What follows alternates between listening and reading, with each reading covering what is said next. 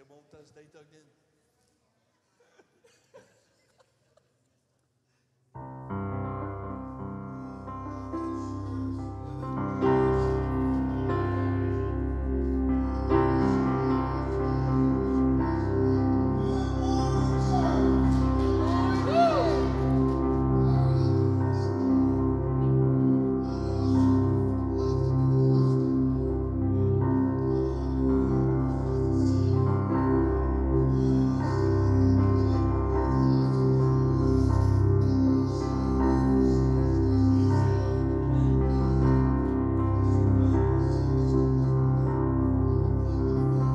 Bible app and I got to see in the verse of the day.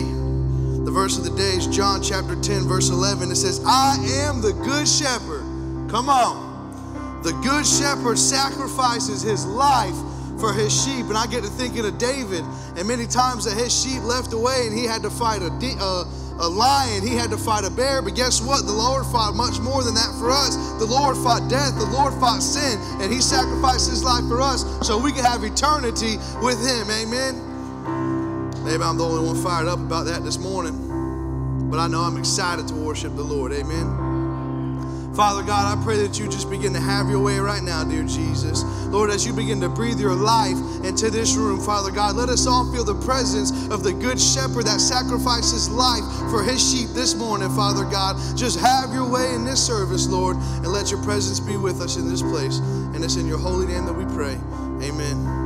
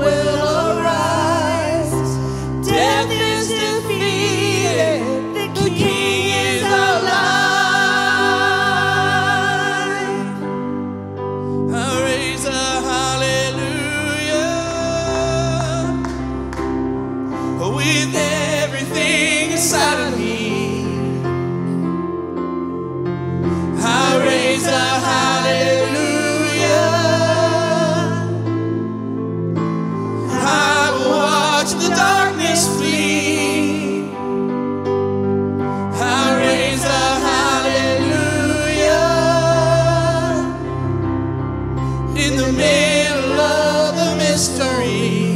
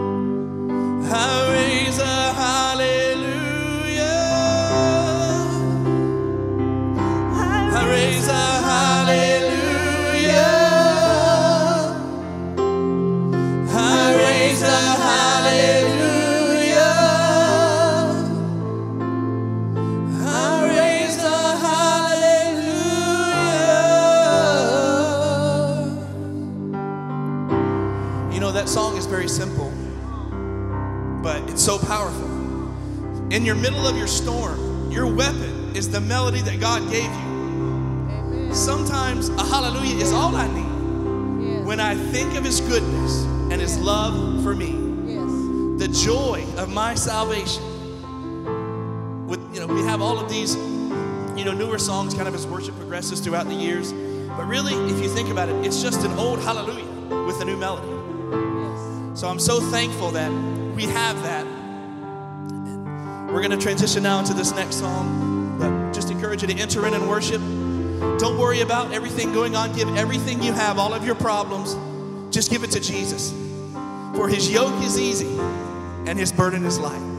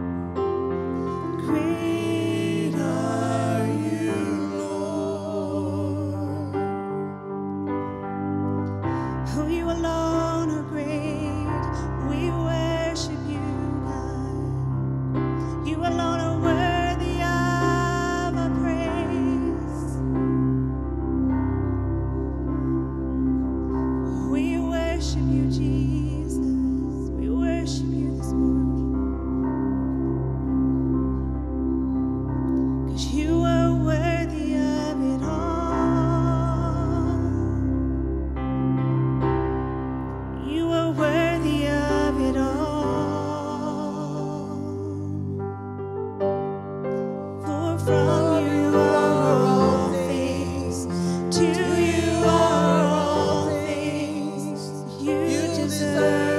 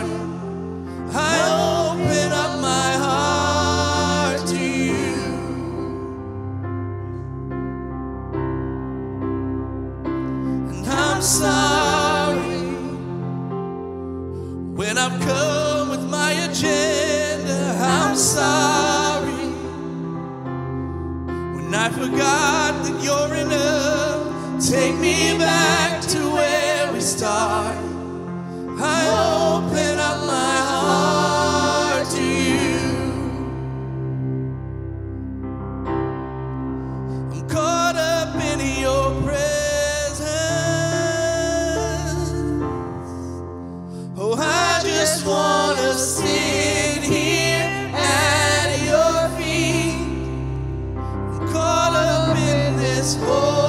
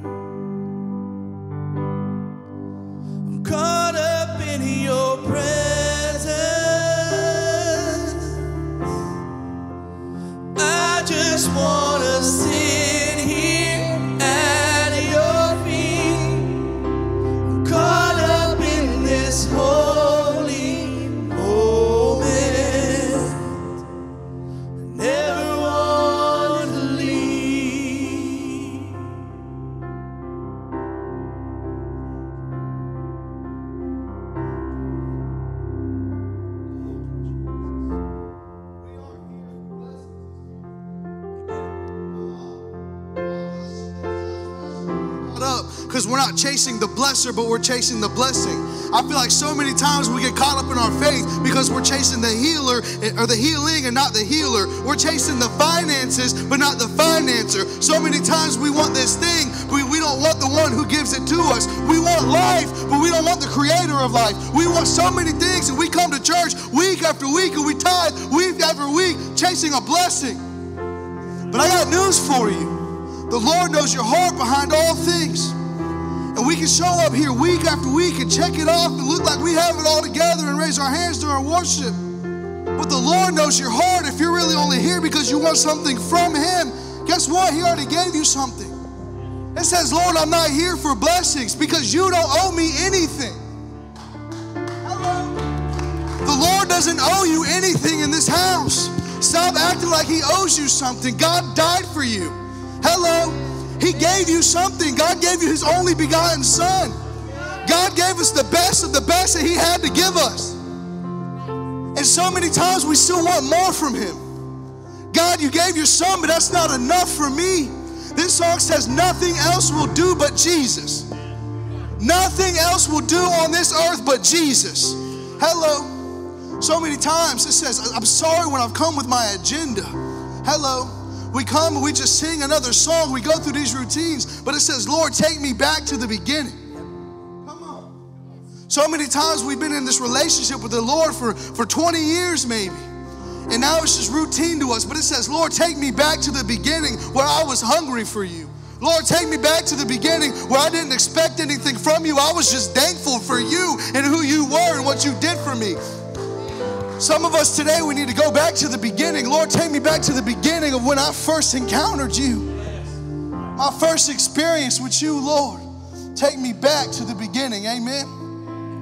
Lord, have your way this morning. Woo. You can find your seats this morning. I'm sorry, Pastor, I wasn't trying to preach. If I'd have kept going, I'd have took up his sermon time.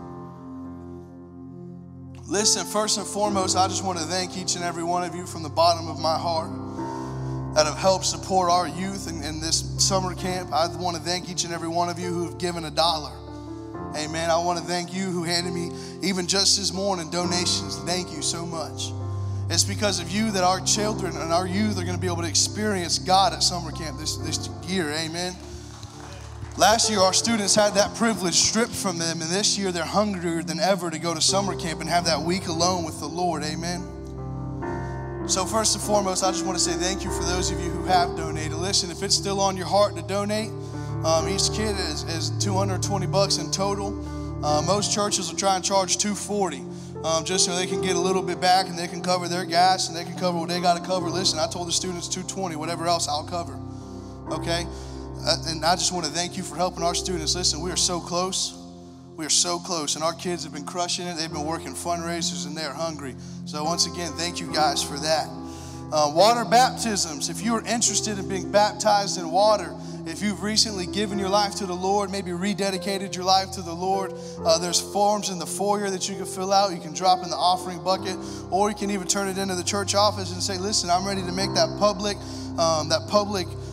Display of faith to say, listen, I've given my life to the Lord. I'm dying to the old man and coming out a new creation. Amen. We have kids' summer fun coming up. Listen, it's going to be our, our VBS this year. It's going to be June 28th to June 30th from 6 to 8:30 p.m. Listen, I know our kids are going to have a blast. If there's one thing I know about Steve Henson, is he's a great guy and he cares for your children. He cares for the kids this age because he knows that these, these kids aren't the church of tomorrow. Hello. They're the church of today, just as we are. And he knows that. And he invests his time and his love into these children so that they can come up to me and eventually be the church that's in this room. Amen. So, once again, if you'd like to have your kids come out and have a little bit of fun from preschool to fifth grade, uh, Pastor Steve would love to have you out there enjoying your time with him. If you'd even love to serve, um, you can reach out to Steve and uh, see what you can do to help. Fourth of July picnic is coming up. Listen, Fourth of July, if if it couldn't be any more patriotic than this, it's going to be on a Sunday. Come on, somebody. Um, we're going to have a, a, picnic right after service, Sunday afternoon. Uh, mark your calendars now. Listen, plan it ahead of time. I know many people like to take vacations. Um, they plan on having a full day of partying. Listen, come here. Let's have some fun on wet slides. Let's have food uh, and have a good time together. Amen. Listen, if we have any first time guests in the building, I'd like to say welcome. I'd like to say thank you for coming and spending time with us today in the presence of the Lord. If this is your first time, um, on the seat back in front of you, there should be a guest form. If you'd like to fill that out and turn it into our, our information center, uh, we'd like to put a gift in your hand. I actually don't have my gift. It's sitting by Pastor right now, but it is a notebook and it says Hilliard First Assembly of God on the front of it. Has a big, beautiful cross. It comes with a pen. So you can take notes during service. Come on, somebody. Next, I'd like to go ahead and invite our ushers forward as we move into our next step of tithes and offerings. Listen, this morning, as I was teaching the youth in Sunday school, um, one of the biggest things that we talked about was the lie that we're all going to be successful. And we, we began to name successful people off. And we ranked them one through 10. And I said, Well, what defined that success to you? They said fame and money. That was how they ranked those people and how successful they were. Well, we begin to look at how God ranks our successfulness on earth.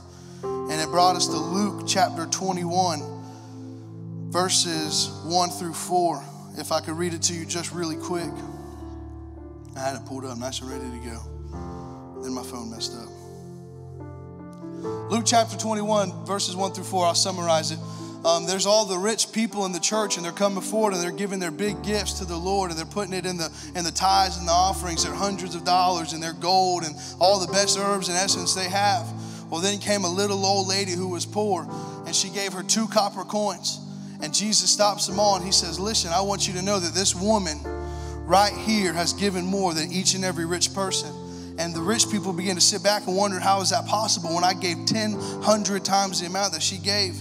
Because Jesus doesn't rank us by how much we give from the financial side, but how much we give from the heart side. Listen, the Lord wants to know your heart this morning. It's not about giving so the church can stay running. It's not about giving so the, none of this is so that the Lord can know where your loyal is to Him, how loyal you are to Him, and where your trust is. Amen. Father God, we pray that you begin to have your way over this service. Father God, have your way over this offering, dear Jesus. I pray that you begin to bless us as we give this morning to you, dear Jesus. I pray that you just begin to move forward with your word, dear Jesus. Let this offering help someone come to know you, Father. And it's in your holy name that we pray. Amen. Nothing else, nothing else. Nothing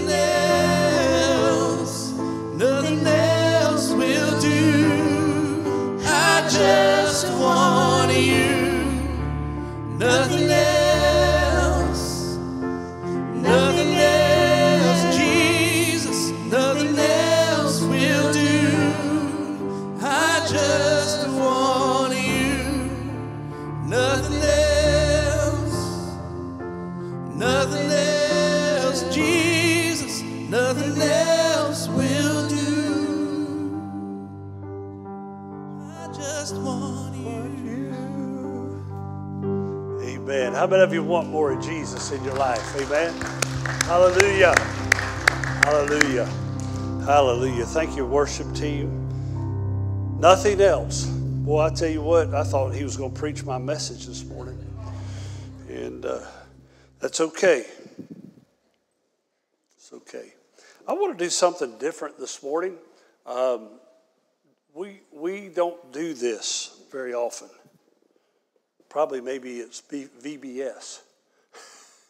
okay? But I'm going to ask you if you would stand one more time.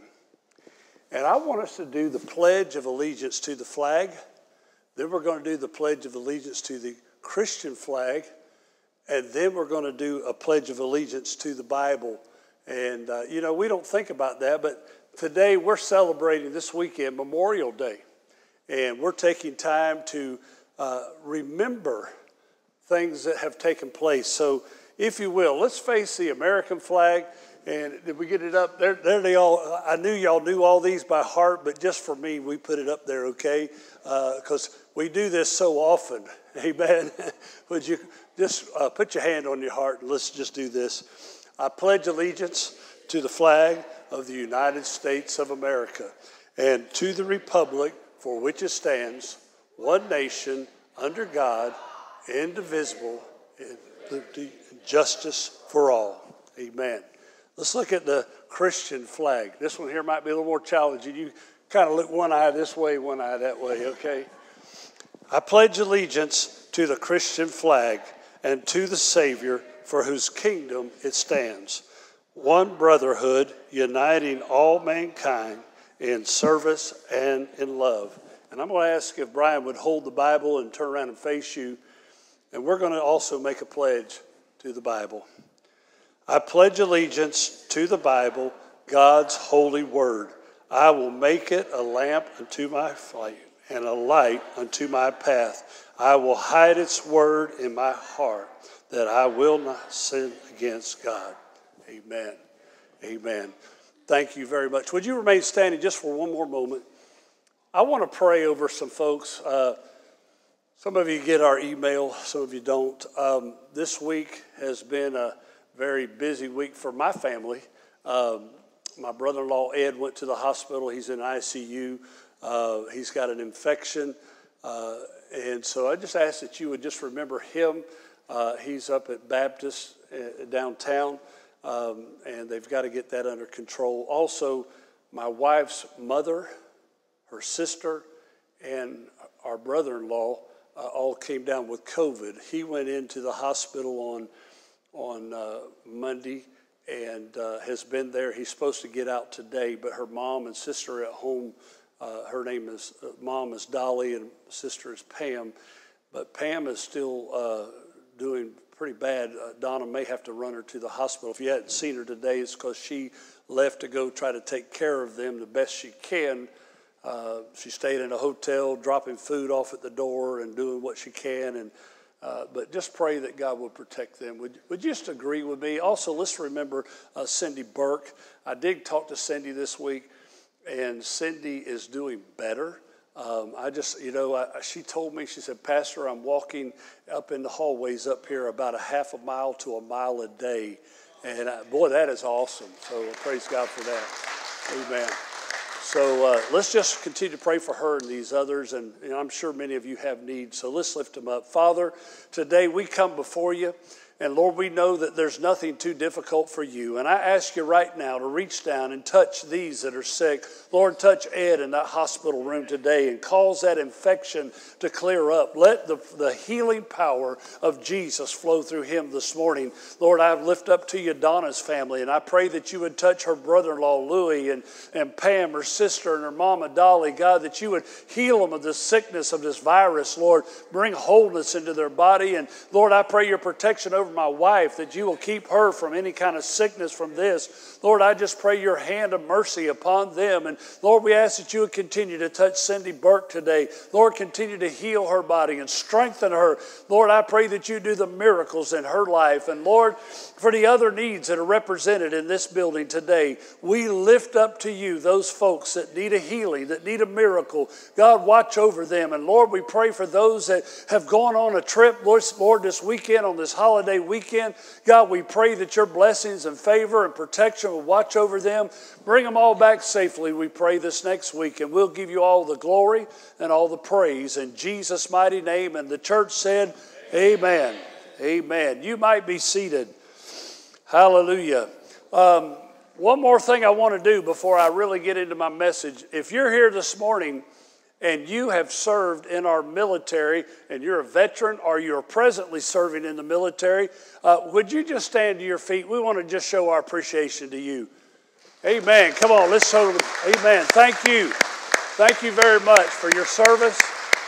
We thank you. We got some guys, I don't know how many of you were here last week. But we got about four or five guys that are going into the military in just about a month or so. You may be seated. And we're proud of that. I, I, tell you, I was so proud last week. Like I'm not even their daddy or nothing, but but when I heard that they were going to the to the army, it was like, wow, that's great because you don't hear that anymore. And I praise the Lord for those who are willing to serve our nation. You know, uh, today I want to just kind of talk a minute about what is Memorial Day all about? You say, well, Pastor, that's not in the Bible. Well, I'll get there. Just hold on. Okay? Don't go anywhere. But what is Memorial Day all about? Well, you see, Memorial Day is an American holiday honoring the men and women who died while serving in the U.S. military. That's what it's really all about.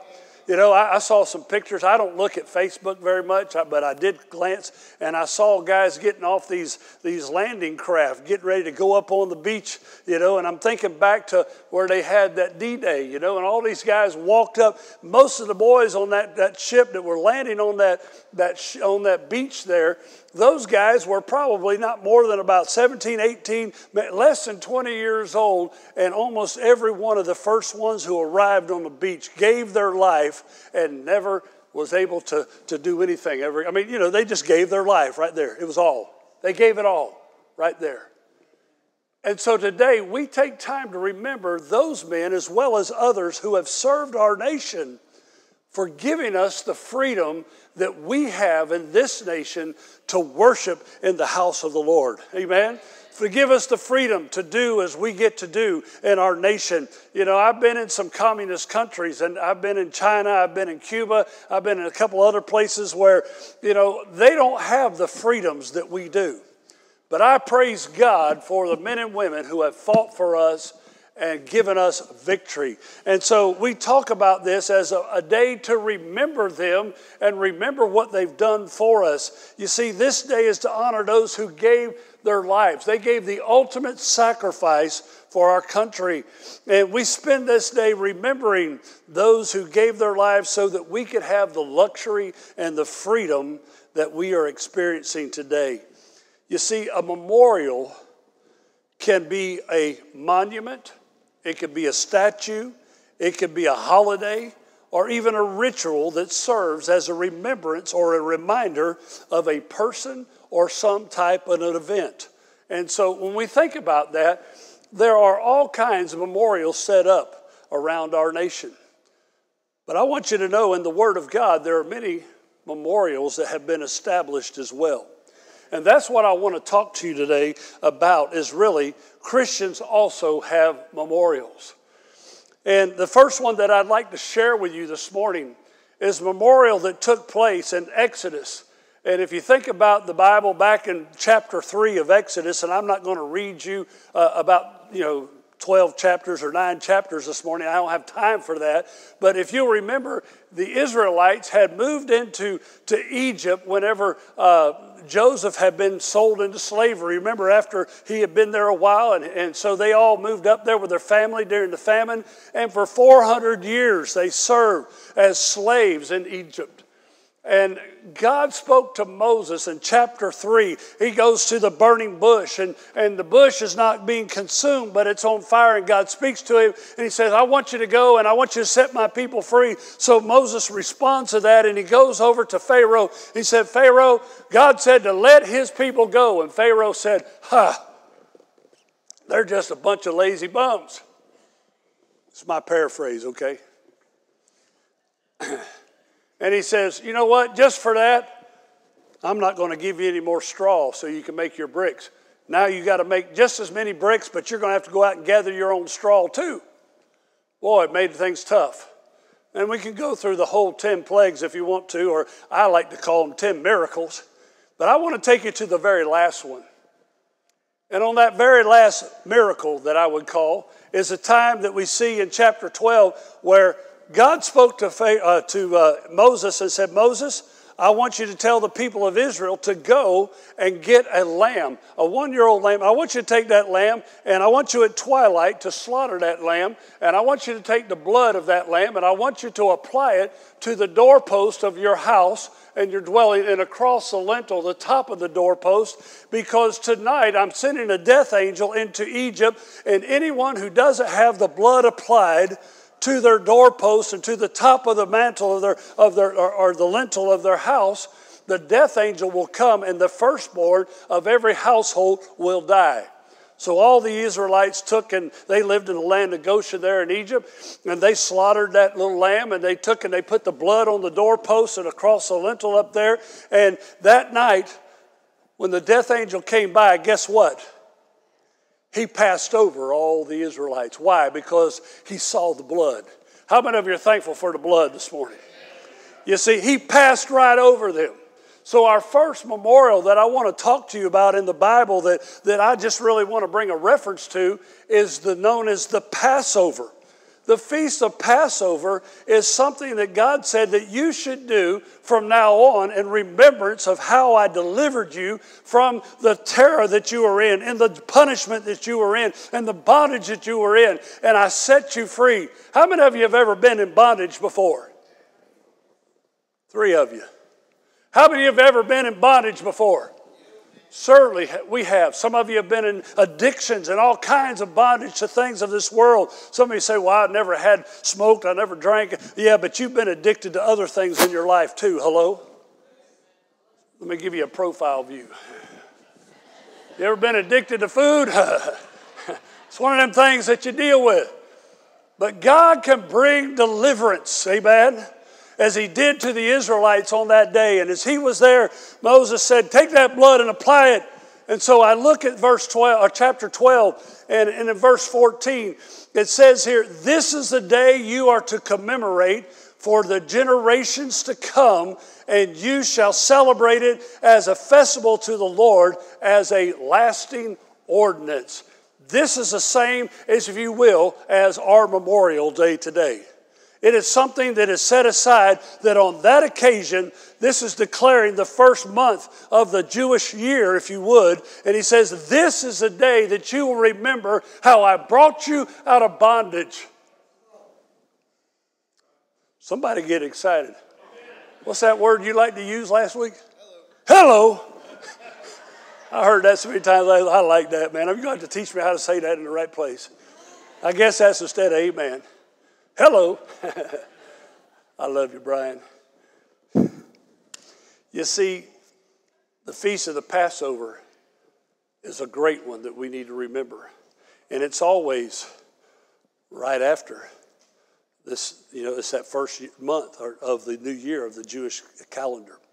The second one that I want to talk to you kind of goes in line, but it comes about 40 years later. Remember when the Israelites ran away from, from the Egyptians. And they got up, and their backs were to the sea. They had the mountains to one side, the Egyptians were coming from another. The only thing that separated them was a pillar of cloud by day and a pillar of fire by night. And Moses got concerned Lord, why did you bring us out here to die? You know, and Lord, you got to do something. And the Lord said, Moses, just pick up your, stack, your stick, hold your stick out there, hold that staff out there. And what happened? God blew the waters apart and he walked across on dry land. Are you hearing me? And it wasn't just 100, it wasn't just 200. Come on, how many of you know there were over 600,000 men? And that's just the men. Matter of fact, it was a couple of million people that had to cross across the Red Sea. How many of you know God knows how to work miracles? You ever notice how He makes things a little more difficult before the miracle takes place? Anybody know what I'm talking about? I mean, how many times have we seen where things were even harder just before the miracle broke through? I think about Gideon and how God had given him so many men. And he said, Gideon, you got too many men. Gideon, you you need to get rid of some of those men because you're going to think you did this on your own. How many of you know God doesn't want you to think you did it? He wants you to recognize that it was Him who that performed the miracle. Some of you might get a little pride in your heart. Hello. Anybody with me? Might get a little proud. Well, when it came time after going around and, and you know, 40 years in the desert. Can you think of some of the experiences they had in the desert? Moses, we're tired of this manna. Give us some quail. Give us some meat. Give us. Man, God said, I'll give you quail. It was, it was deep. Man, they were walking through the deep quail. They were trying to get through it. It got to where it became stench. It became, oh man, we're tired of quail. We're thirsty. Moses, we want water. Moses goes over and said, Lord, we got to have some water. And God gives him water out of a rock. Come on, are you hearing me? Then he goes up to another place, and we know it as a place called Marah. and they get there, and the water is bitter and sour. And he said, Lord, what are we going to do? He said, throw the stick in there. And the stick went in, and the water turned sweet again. Hello? How many of you know God looks at the difficult things and says, I want you to realize this is worse than you think, but I can make a difference. And so God works the miracles. And we see these miracles taking place. And so for 40 years, they've walked across. Their clothes are the same. How many of you know their shoes didn't wear out? Their clothes didn't wear out. 40 years. Some of you folks would die. You say, I've been wearing the same old clothes forever and ever. You know what? I could do that. It doesn't matter to me. My wife says, You need to get rid of that. You've worn that too long. It's starting to wear. It's this. Man, I don't care. I'm just not one of those got to be fashionable. I, am sorry. I'm just an old old boy. I don't care. I don't care. You know, I don't have to have the brand new shoes. I don't have to have the brand new name brand pants or the, you know, I, I, you know, me, I think if my pants get a hole in them, I'm supposed to throw them away. But now it's the fashionable thing to have holy pants. Hello. When I was a kid, what did they do? They put patches on there. And you were embarrassed because you had a patch on your pants. Oh, well, I'll get off of that. But the Israelites had went through the desert and they get to the, to the Jordan River and the, and the title had changed from Moses being the leader to Joshua being the leader. And Joshua says, man, we got to go across the river. God's given us the promised land. There's Jericho. This is the first battle. And how are we going to do this? The river is at flood stage. I mean, it'd been okay. It wouldn't have been so bad if it had been in its normal stage, but it's, it's out of the banks. It's flowing so hard. How are we going to get across the river? God makes things difficult, doesn't He? Because He wants you to know that it's God who's working the miracle. And Joshua has a little conversation with the Lord, and the Lord says to Joshua, Joshua, have the men carry the ark, and when they get out there about ankle deep or so, the water is going to start to recede. And the water began to back up, and it began to push back farther and farther. And again, those two million plus people go across the Jordan River. How many of you know it didn't take 30 minutes to get a couple million people across the, the Jordan? You ever had to stand in line and just try to move forward? Have you ever been in a crowd where you're like stepping on each other and you're waiting for a little spacing? To, oh, finally I can walk a little bit, you know? I, I have that problem because I have long legs and, and I'm not good at walking little baby steps in crowds. I, I kind of like to stride. When I walk in the mornings, my wife, you know, when she tries to keep up with me, I have to keep stopping and looking back and, you know, it's just I got a stride. It's a long stride. You know, I, I went to the hospital yesterday and got off the elevator. There's two ladies there, and I let them off being the gentleman you're supposed to be. But then they were. As soon as I got a break, it was like, I'm gone. I could just imagine there were people in that line going across the Jordan River that day.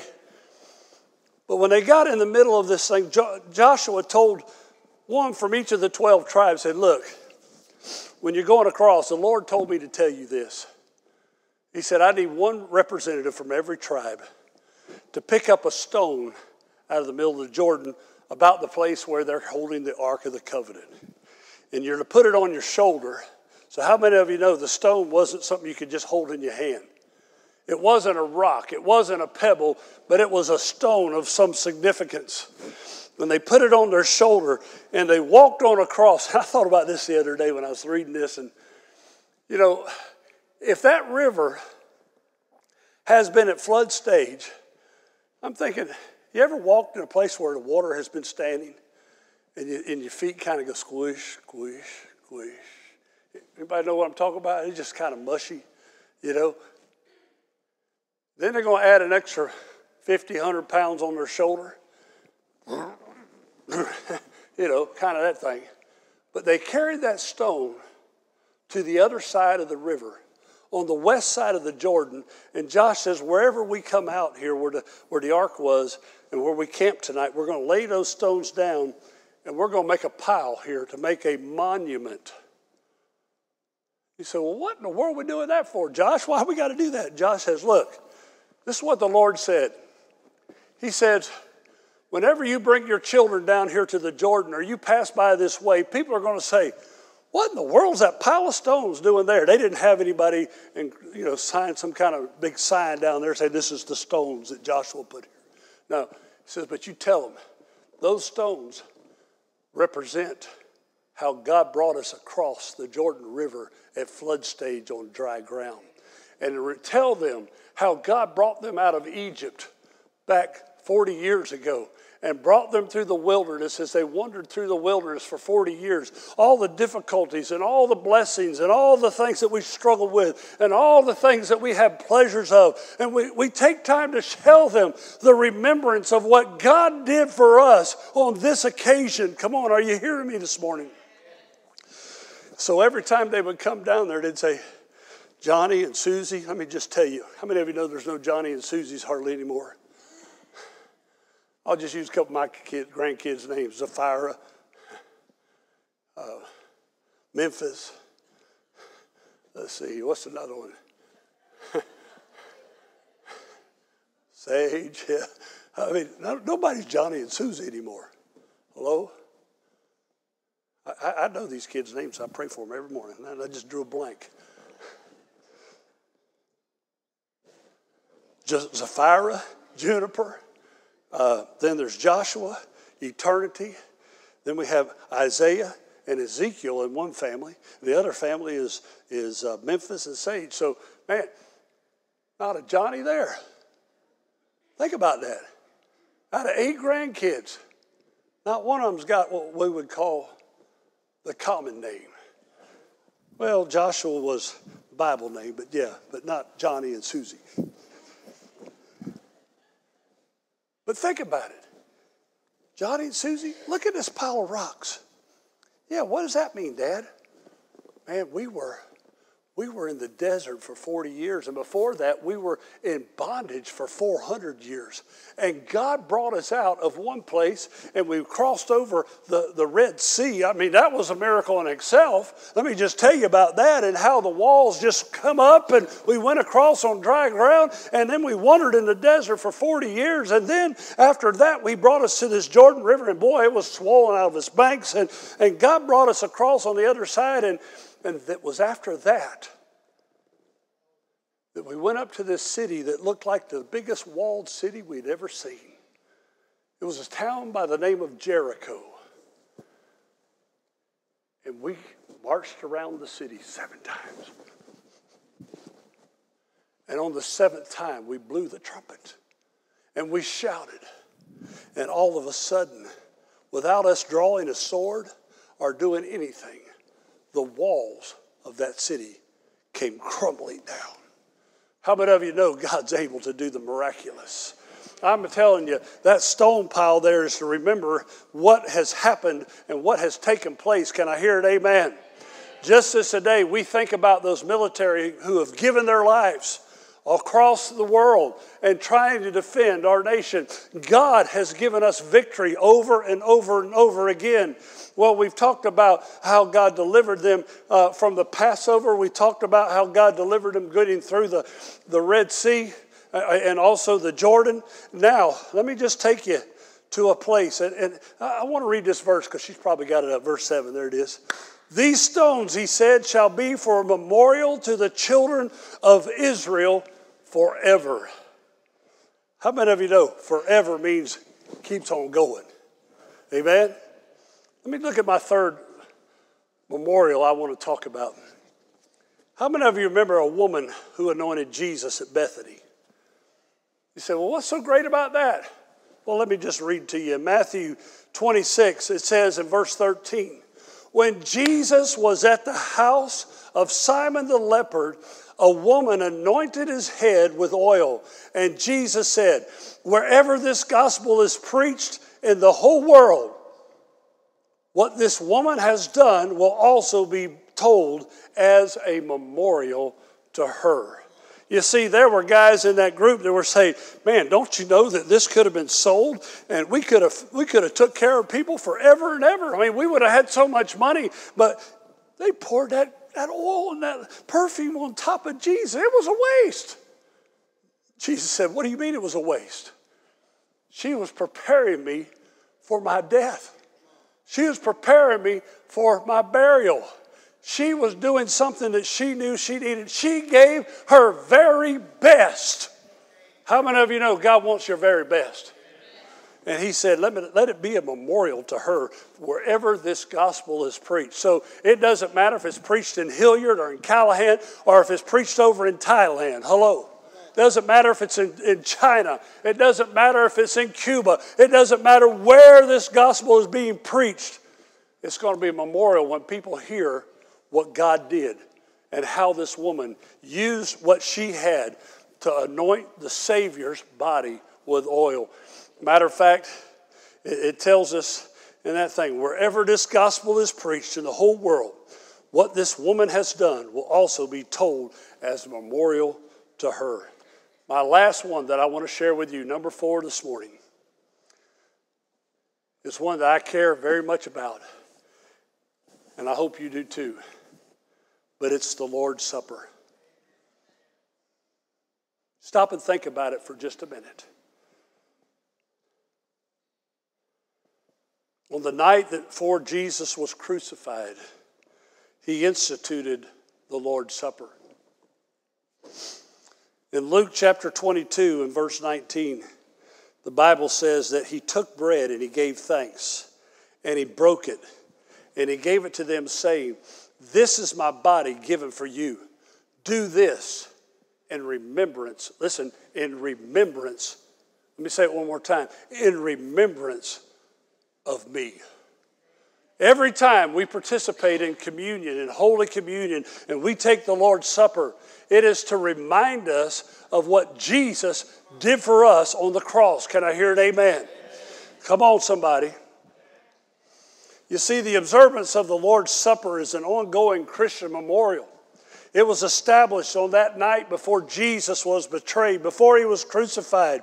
It's ongoing. It's a Christian memorial that helps the believers to remember the sacrifices that Jesus made for us. Let me just read to you how Paul said it in 1 Corinthians 11. He says, The Lord Jesus, on the night that he was betrayed, he took bread, and when he had blessed it and given thanks, he broke it and he said, This is my body, which is for you. Do this in remembrance of me. In the same way, after he took the cup and he said, This cup is a new covenant in my blood. Do this whenever you drink it in remembrance of me. For whenever you eat of the bread and drink of the cup, you proclaim the Lord's death until he comes. How many of you know Jesus is still coming? Let me say it again Jesus is still coming. We don't know at what moment, but at any moment, the trump may sound. And when the trumpet sounds, the dead in Christ shall rise first, and those of us who remain shall be what? Caught up to, in the air to be with Him forever. I don't know about you, but that's what I'm living for. Amen.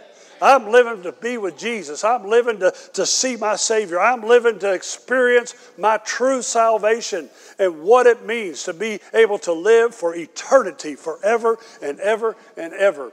Everything else on this earth is going to pass away. But heaven and earth, come on, let me tell you, it's going to be great when God creates this new heaven, new earth. All things become new, and that's what I'm looking forward to. You see, memorials are a reminder of what has already taken place.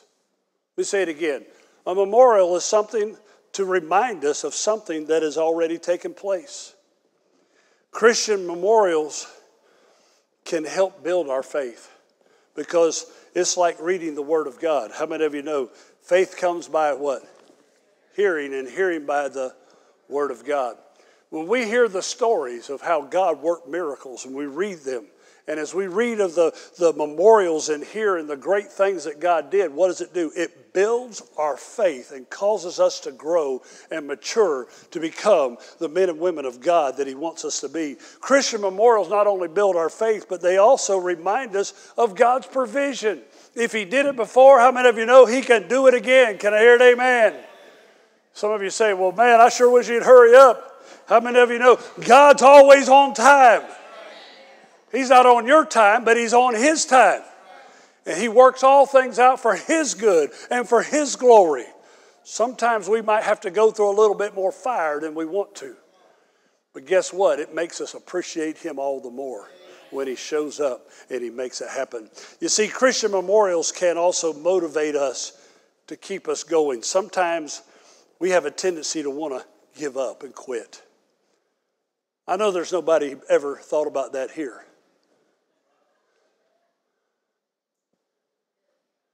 I'm going to tell you, even as a pastor, there are days that I just want to say, God, I'm tired of this.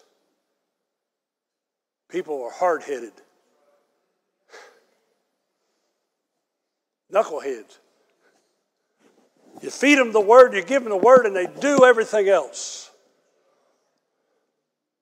And the Lord just tells me, said, Son, it's not your job. All you can do is give them the word. You can't make the decisions for them. All you can do is teach them and disciple them the best you can. And then it's up to me to influence them, and they have to make the right decisions. How many of you know it's up to us to make our own decisions? You can make good ones, and you can make bad ones. How many of you know when you're raising your kids, you influence them up to a certain point, but when they get to a certain age, you have to take your hands off and say, hey, God, thank you for the years that you've allowed me to invest into their lives and teach them the importance of the Word of God, to train them and disciple them and bringing them into church. You know, I've told you this. You heard Barry Young say it the other day when he was here about we had a drug problem. Yeah, we were drugged to church every time the doors were open. That was the only drug problem I ever had. I was drugged to church. Thank God my parents drugged me to church when I didn't want to be there. They didn't say, Well, I don't want him to run away from God. Well, let me tell you what, if you don't get him in the right direction now, you're never going to get him in later. It's harder and harder and harder. Invest into them now. Put it into them now while you have the chance. You see, memorials are there to encourage us and help us and build us and keep us from quitting. I look back at the stones and I said, God, you got them across on dry land. You can get me across this situation. God, I've been through deep things before, but Lord, I know you brought me through before and you can do it again. And I have to get myself together when I get discouraged. Hello, anybody hear me? And I have to say, Lord, I put my trust in you. For when I can't do it, I know the Holy Spirit can. And I have to trust Him. Let me bring this to a close. What kind of memorials have you established in your own life with God? What about the day that God miraculously saved you? Can you remember the day? Is there a time and place where you can sit back and say, God, I remember where I was, and I thank you for bringing me out of the mire and the clay and the pit that I was in? Hello, anybody hear me? What about the day the Lord filled you with the Holy Spirit and gave you that supernatural anointing in your life? I remember the day. I can tell you today, I can tell you exactly where I was when I got filled with the Holy Spirit. I remember I was at a church by the name of Bethel Temple down in Tampa. And that church, this is before they built their new buildings and all this. And I was down in the front of the church, and I've been seeking the baptism of the Holy Spirit for, for quite some time. All my family, seemed like my friends, my cousins, everybody been filled, but not me. And I'd never been given the evidence of speaking in tongues. And I was really disappointed. God, why can't I have it? Why? And I remember going to the altar and people would crowd around me and they'd lay hands on me and they would say, Oh, speak it out, brother, speak it out, brother. And I was like, What? what? Speak it out. Hold on, hold on, turn loose, hold on. I didn't know whether to hold on or turn loose. I mean, I was I was like, God, I'm just confused. But that was Pentecost. And I'm sitting there, and all of a sudden a man that was working with the youth, he was a just a helper to the youth. He wasn't even the youth pastor. But he come up he says, Arlie, he said, look, the Holy Spirit's all over you. I can sense it. He says, all you've got to do is just repeat what you hear the Spirit of God saying in your spirit. Let it go. And all of a sudden, I, I, I kept thinking the Holy Spirit was going to make my tongue work. but he, do, he doesn't do that. Holy Spirit he puts it in your spirit, and then you begin to speak what the Holy Spirit speaks to you. And I kept thinking, well, I think that's what he's saying, so I don't want to be speaking what he's saying. I mean, we, we try to think things out in our head so much. And I kept trying. I said, well, well certainly that's what they're saying. And, and I, I was down there, and they were all over me, hold on, turn loose, do this, do that. And I was like, hmm. and, and finally I just said, okay, Lord. And I said the first word that I sensed in my spirit that God was saying to me. And then it began to come. And I remember getting up off the floor that night, and there was a newness inside of me like I'd never felt before. It was like a spring of living water flowing out of me. And I was in, I was in high school. So I remember this memorial. I was in high school. And the church was repainting the eaves and doing things around the building. So they were using me. I was making a couple dollars an hour, you know, scraping and painting and doing that. And I went over there that day and I got on the ladder and I got I was by myself and all of a sudden I was going and I couldn't speak in English. I mean I could, but I, I just didn't want to. I mean, it was just the Spirit of God had become so anointed and powerful in my life. It was something I, I just didn't want to shut off. How many of you know what I'm talking about? It was like the power of God was flowing. And from that moment forward, life has never been the same. The power and the anointing of God was so powerful. So, yes, I have memorials in my life of what God's done. And I'm challenging you today what kind of memorials do you have in your life? Maybe it was a day that God miraculously healed you. Maybe you were dying with some kind of sickness or disease or, or whatever it is. You go back and say, Well, I remember on such and such day, God touched my body and healed me. You say, Why is it important that we know these things, Pastor? Because there are going to be times in your faith that you're going to get weak. There are going to be times that you get discouraged. There are going to be times in your life you're wondering, God, how come you never do anything for me? You always do it for everybody else. Let me tell you, He's already done it for you. He saved you, He healed you, He delivered some of you from addictions in your lives. You start feeling sorry for yourself, you need to go back to these memorials and let them look at it and say, God, you're the same God today as you were yesterday. You don't change. Are you hearing me this morning, church? What about the God, day that God delivered you from, from some addictions in your life? You see, as we celebrate this Memorial Day weekend, I want you to take just a few minutes to consider some of the miraculous things that God has done for you in your lifetime. Maybe it's time to establish some of your own memorials that you'll remember so that when you get discouraged, you can look back and say, God, you did it before. And God, you can do it again. Can I hear an amen? Stand with me all over this church. I've asked they would sing that song. We sang the last song a while ago. Will you just join in with this song? And if you're here today and you don't know Jesus, I think most of you here probably do that I've seen. But if you're here and you say, Pastor, I don't know Jesus or I'm backslidden, and you want to just get things right with God this morning, I'm going to go down front. I'm going to invite you to come and I'm going to pray with you. We'll get things straightened out before you leave. We'll make a new memorial today. And if you need a healing or whatever, come. We'll, we'll pray over anybody that's sick, whatever you need today. But let's sing this song together.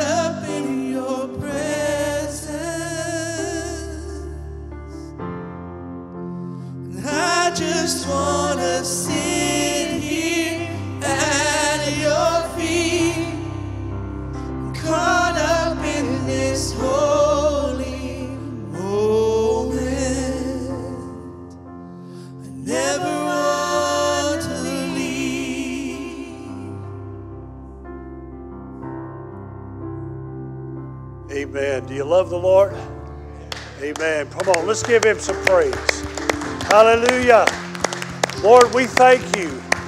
Thank you for all that you do in our lives and all in our hearts, God. Thank you for the memorials that we have, not only in the United States as Americans, but God, the Christian memorials that you have given us to remind us of your great works and all that you do.